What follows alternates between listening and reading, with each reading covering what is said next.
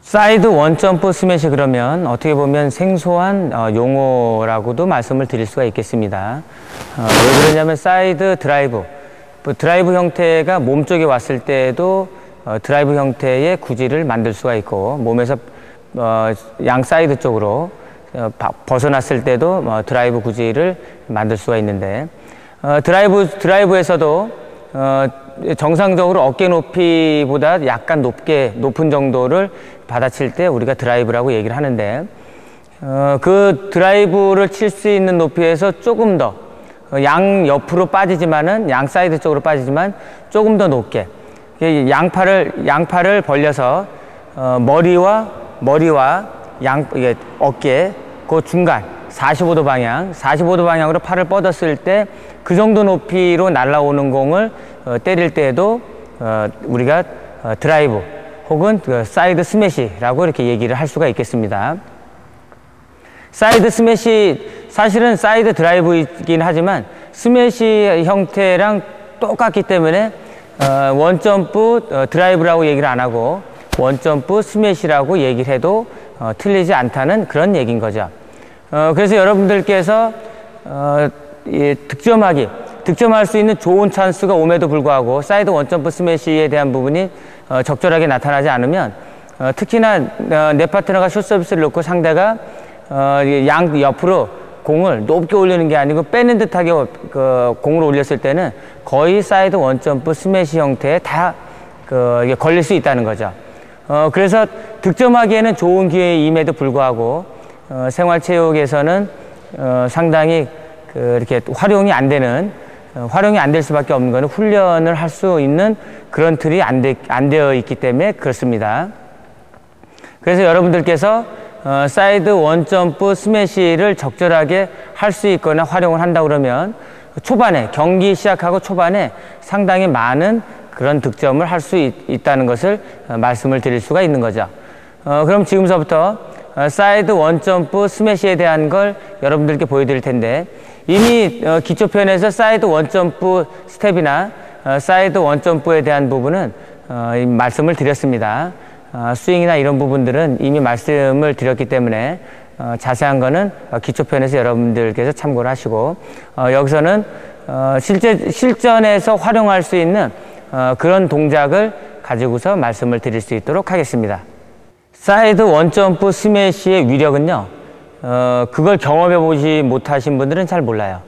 보통 그 저희 선생님들이 저희들이 어, 생활체육 동호인 분들하고 게임을 하게 되면 어, 저희들이 사이드 원점프 스매시가 되다 보니까 어, 상당히 그 이렇게 그 경기 초반에 어, 득점을 할 득점을 하거나 득점을 할 수 있는 그런 상황들을 많이 접하거든요. 예를 들면 파트너가 서비스를 넣습니다 앞에서 제가 이제 뒤, 뒤에서 준비를 하고 있거든요.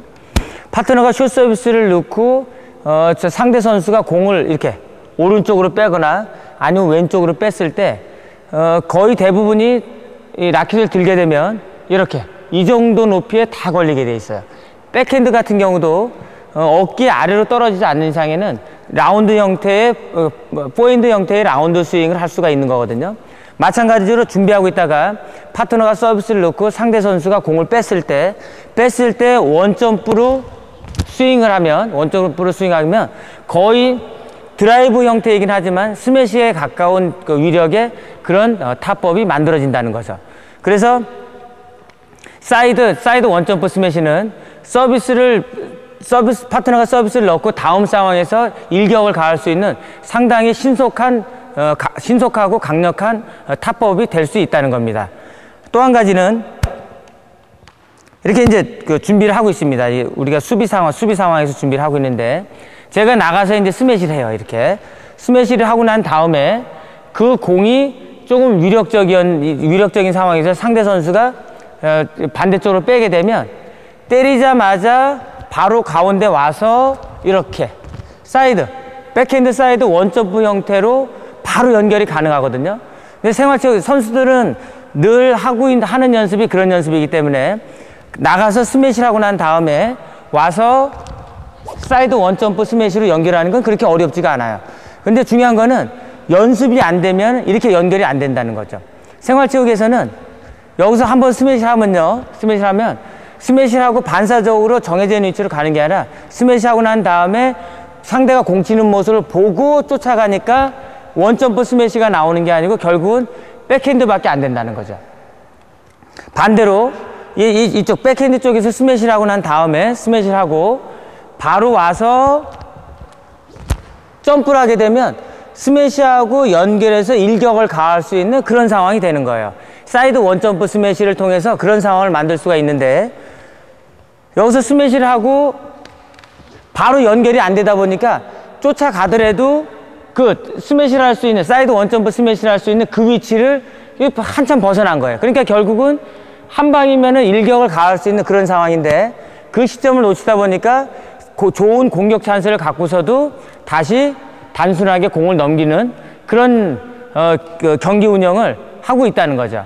그래서 복식은 복식은 공격하는 쪽에 절대적으로 유리하기 때문에 어떤 공격의 패턴을 갖고 있, 다 그러면 그 패턴의 끈을 놓으면 안 되는 거예요. 스매시하고 와서 또 때릴 수 있으면 또 때려줘야지 스매시를 했는데 한 번 스매시하고 놓고 또 밀고 이런 아주 단조로운 형태의 그 경기 운영이 되면 안 된다는 거예요. 이 공격을, 공격을 시작했으면 그 공격이 끝날 때까지는 계속 상대방을 압박해야 할수 있는 그런 신속한 어, 공격력이 필요한데 그럴 때 사이드 원점프 스매시는 상당히 중요한 역할을 한다는 거죠. 어, 그래서 사이드 원점프 스매시 하나로만 보는 게 아니라 우리가 스매시를 통해서 스매시를 통해서 정해져 있는 스매시하고 난 다음에 정해져 있는 정해져 있는 위치로 가서 그 공이 짧게 왔을 때는 원점프 형태의 스매시가 될 수도 있지만은 지금 보시는 것처럼 스매시를 하고 와서 제자리 원점프가 아니고 사이드 원점프 포핸드나 백핸드나 사이드 원점프 형태의 스윙을 통해서 한 일격을 가할 수 있는 그런 상황을 어, 충분히 만들 수 있는 여지가 있다는 거죠. 그 이런 상황에서 사이드 원점프 스매시가 필요한 거예요. 어, 여러분들께서 단순하게 사이드 원점프 스매시 그 사이드 원점프 스매시에 필요한 스텝 이렇게 생각, 생각을 하면 안 되고 경기 운영상으로는 스매시를 통해서 얻을, 얻은 그 또 한 번의 찬스를 확실하게 끝낼 수 있는 걸로 연결을 시켜주는 게 사이드 원점프 스매시라는 거죠. 그래서 사이드 원점프 스매시가 되려면 점프 형태를 그 사이드 라인 쪽으로 이어주면 되는데 어, 우리가 원점프 스매시나 스매시 할 때는 점프를 높이 해주면 되, 되는데 사이드 원점프 스매시는 점프를 높이 해주는 게 중요한 게 아니고 원점프 형태로 해서 사이드, 사이드 방향으로 얼마만큼 많이 갈 수 있느냐의 문제이기 때문에 높이 뛰려고 하지 마시고 스텝은 깔, 원점프로 해서 그 점프는 깔지만은 많이 최대한 사이드 방향으로 갈 수 있는 그런 형태의 움직임을 만들어 주시면 여러분들께서는 사이드 원점프 스매시를 실전에 활용하는데 그렇게 어렵지는 않을 겁니다. 어, 그러면 어, 실제적으로 어, 지금 설명해 드린 그 내용이 어, 그 실전 상황에서 어떻게 활용이 될 수가 있는지 어, 실전 상황을 놓고 어, 다시 한번 설명을 해 드릴 수 있도록 하겠습니다.